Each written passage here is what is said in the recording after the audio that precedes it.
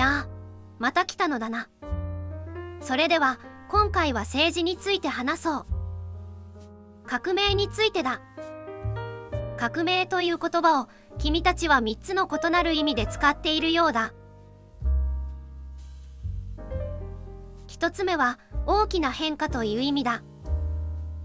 例えばそうだな。産業革命とか IT 革命とかいう場合だ。この場合の革命には特に特別の意味はない。変化では物足らんので革命と言っているだけだ。2つ目は階級闘争という意味だ。これは支配されていた階級が支配していた階級を倒して新たな社会を作ることだ。この意味の革命は市民革命とか社会主義革命という風に使っているだろう。これは変化では言い換えることはできない。なんか今回は文字が多いな。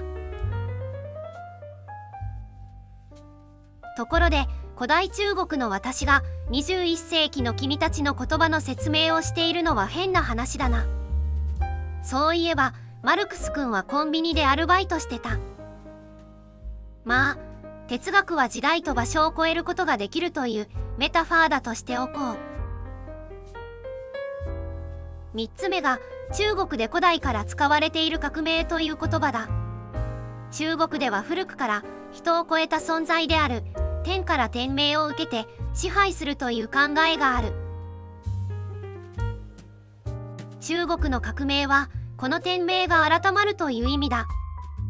天命が別の人物に移るのだ。この革命という漢字の言葉を英語で言えばレボリューションの訳語として使っているというわけだ。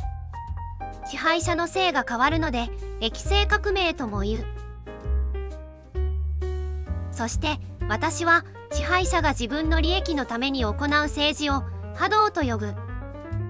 これに対して人々のために行う政治は王道と呼ぶ。天命はこの王道を行うことを命じているのだ。したがってもし君主が波動を行うと天命が変わる。そしてそれは人々に伝わって人々の手で波動を行う支配者は倒されるのだ。さて先ほどの2番目の階級闘争としての革命についてはまたマルクス君がバイトが終わったら話してくれるだろう。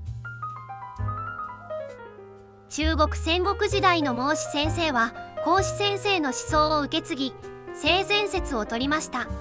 政治に関しても孔子先生の特地主義の立場を継承して王道波動の区別を説きました。